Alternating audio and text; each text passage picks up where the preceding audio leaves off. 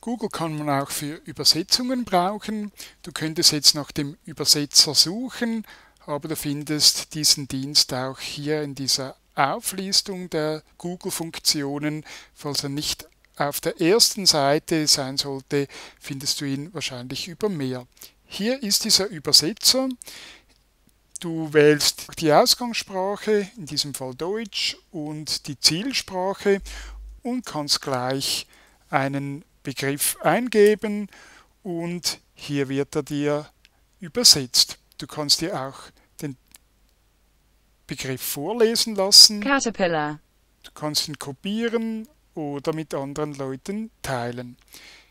Allenfalls bei gewissen Begriffen bekommst du noch weitere Vorschläge, vor allem dann, wenn ein Begriff mehrdeutig ist, Caterpillar oder Raupe kann man ja auch im Zusammenhang mit einem Fahrzeug verwenden. Natürlich lassen sich so auch ganze Texte übersetzen oder auch Websites kannst du hier eingeben. Ich habe jetzt einfach die Adresse eingegeben und diese Seite wird im Übersetzer aufgemacht und hier muss ich natürlich noch ändern Englisch nach Deutsch.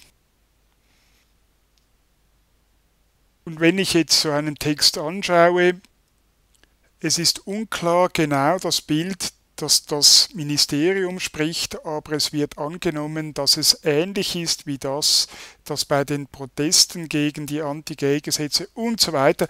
Du merkst, hm, das ist aber merkwürdiges Deutsch und das ist tatsächlich so, diese Texte werden maschinell übersetzt, also mehr oder weniger Wort für Wort. Die Übersetzungen werden zwar immer besser, aber natürlich kannst du also eine Übersetzung überhaupt nicht eins zu eins brauchen. Immer wenn du den Google-Übersetzer verwendest, so kann er höchstens dazu dienen, einen Anhaltspunkt zu liefern. Die Übersetzungsarbeit, die musst du nach wie vor selber machen.